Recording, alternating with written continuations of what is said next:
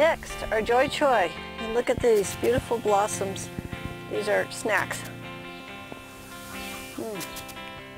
A little bit tangier than the broccoli. The broccoli is a little sweeter, but still delicious.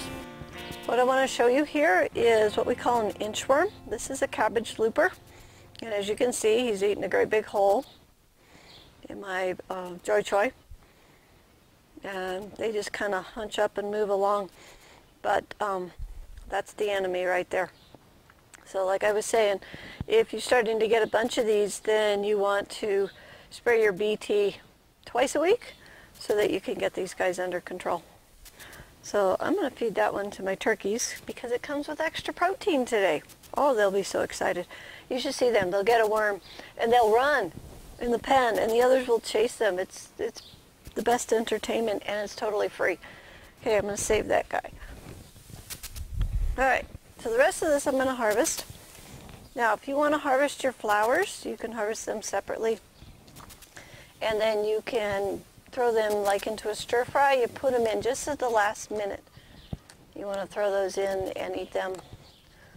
Um, or you can just snack on them while you're out here in the garden because they're pretty delicious.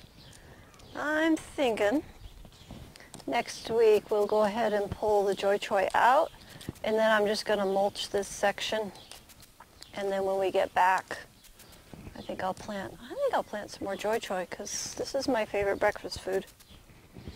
Or the other choice is, this might be a, a wise choice, is to go ahead and start some seeds in a little tray. And I can keep those in the house and get them started and then we could transplant out into the garden as opposed to putting in seed.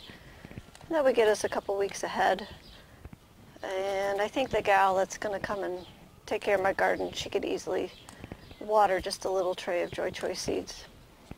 So if I can remember, I will go plant some today in preparation to know that in two weeks, two, three weeks, we're going to go ahead and pull these out. Let's see, it's going to be three weeks, isn't it? Because this is the 18th week, and it'll be the 21st week when we get back.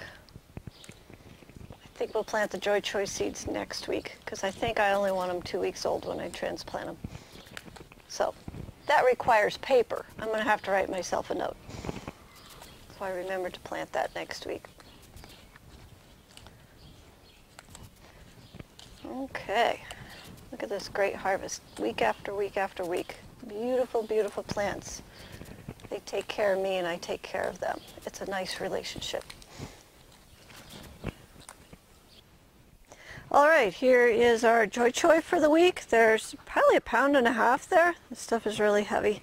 Now if you're getting too much, go ahead and blanch it or go ahead and stir fry it just slightly so it turns bright green and then cool it down, throw it in a bag, throw it in the freezer so you have it in the off season. Uh, the other thing I'm going to do today is I'm going to go ahead and harvest some of these flowers and this can go into my stir fry just right at the last minute you want to put these in just kind of almost as a garnish. Um, and the other thing that I want to tell you about is these leaves that are coming on the flower stalk. These, they're smaller, but they're totally edible. So you can harvest all the way up the stalk. Um, unlike lettuce that gets really bitter, uh, these leaves don't get bitter as they flower, so you'll be just fine.